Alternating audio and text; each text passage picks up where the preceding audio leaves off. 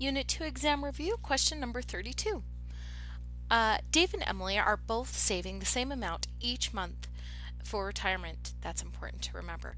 But Emily started when she was 25 years old, and Dave waited until he was 35 years old to begin his savings plan. The graph displays the exponential function of each investment plan. Which statement provides the best explanation for of the difference between Dave and Emily's savings plan? So the first thing I see is that Emily is this blue line. She started at age 25 and Dave started at 35, so this one's his. The first one is Emily's growth is exponential, but Dave's growth is more linear. Remember, linear means a line.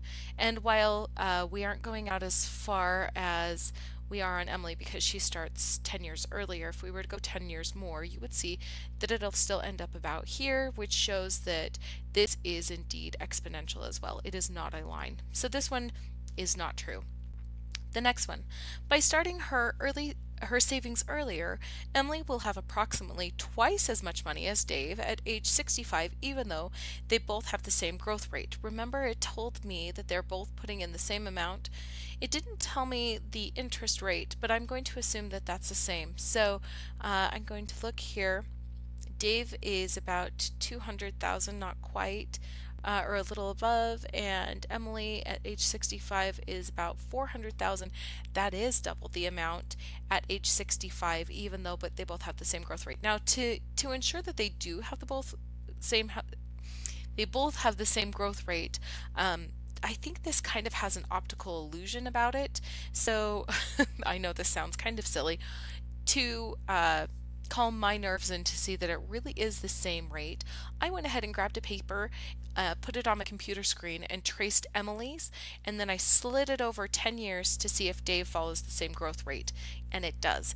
I can't really show that on the computer though, so that's something you'll have to do on your own to see if that growth rate is the same.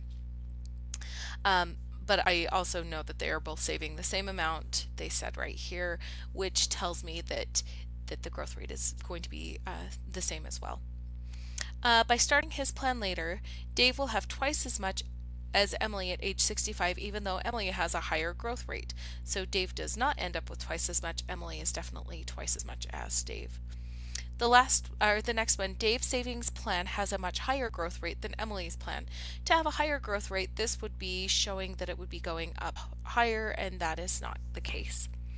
And the last one, Emily's saving plan has a much higher growth rate than Dave's plan, again, because these are uh, the same growth rate uh, and using my paper example, uh, that shows that that is also a false statement. So our true statement is that by starting her savings earlier, Emily will have about twice as much as Dave.